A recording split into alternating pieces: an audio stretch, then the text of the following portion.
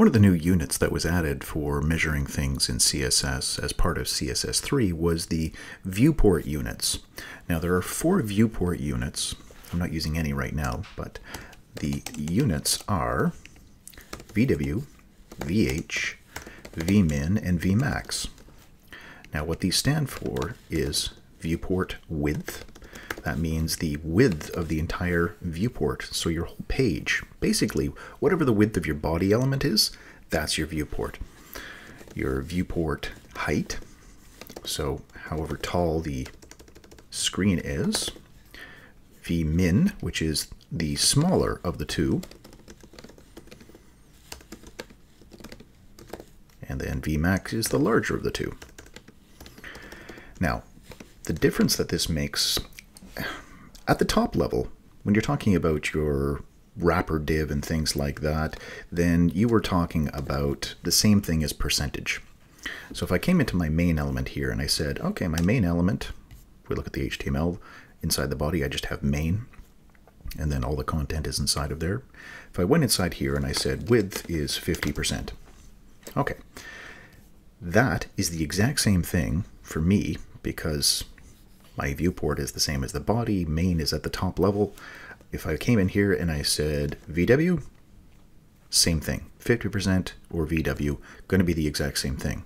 Difference is when you get down beyond that, once you've gone inside of whatever your wrapper element is, come down here. If I was to say width 50%, I'm talking about 50% of the parent.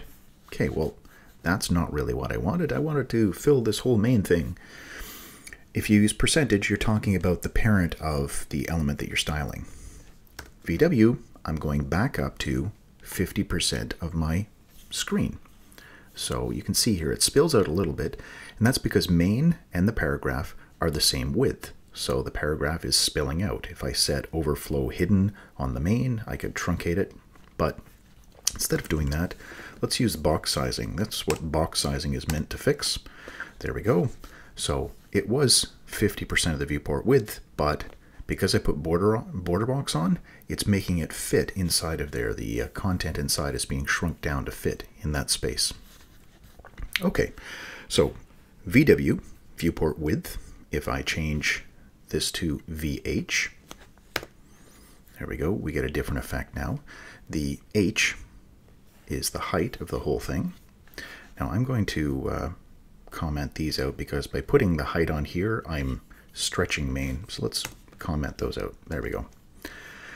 Now, because I don't have a forced width, the paragraphs by default will fill 100% of the parent. They are display block, which means fill the width of your parent. So now my VH is working properly.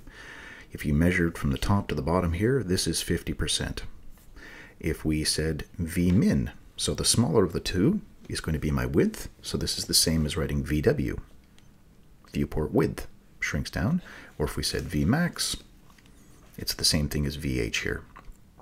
And we can use the same thing anywhere inside of our code. It's just these are new units. So font size. Okay, my H1 is set to 3 REM. So that's three times my default font size, which is by default 16 pixels. So 3 times 16, 48. Yeah, Took me a second. Um, so 48 pixels is the height of this right now. So, all right, looking at this, let's say this is a thousand, so 10% is a hundred. Cut that in half, so let's say 5 VH. There we go, pretty close to the same size. So you can use these viewport units anywhere you want on anything that you want. Uh, your padding, you want to make that into VH or VW units. You can. You can change these things.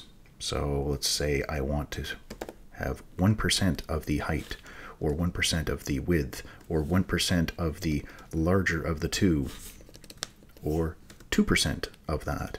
3. And you can see it just grows as we go up through here. So that's the viewport units. That's all there is to them. So I hope you find that useful. Um, if you have any questions, feel free to leave them in the comments. If you found this useful, please share it. And as always, thanks for watching.